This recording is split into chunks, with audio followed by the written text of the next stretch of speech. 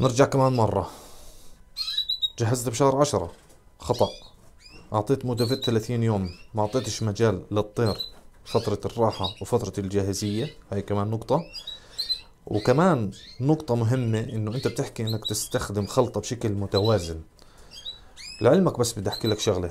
لما أنت ترفع نسبة الحبوب اللي فيها فيتامين إي مثل النيجر ومثل غيره وغيره وغيره وغيره وما بعرف أنا شو بستخدم كخلطات أنت تستخدمها لازم يكون في توافق بينه وبين المادة اللي أنت بدك تستخدمها كيماوية للتجهيز. يعني تيجي تعطي AD3E وتعطي حبوب عالية فيها فيتامين اي بتحمي الطيور بشكل عالي هذا غلط. في ناس بحطوا لك قنبز بحط نيجر كمية عالية في البريك هذا كلياته بشلح الطيور عشان تكون بالصورة.